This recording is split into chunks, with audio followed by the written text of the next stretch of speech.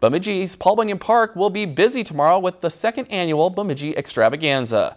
The event will have activities to promote disability and mental health awareness and to provide resources as well as highlight individuals' abilities instead of their vulnerabilities.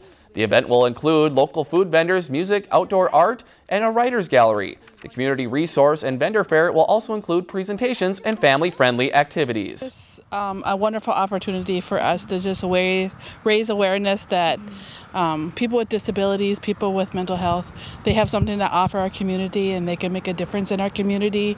And it's just going to be a wonderful time and we hope to see everyone come out.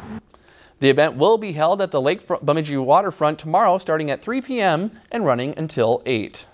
If you've enjoyed this segment of Lakeland News, please consider making a tax-deductible contribution to Lakeland Public Television.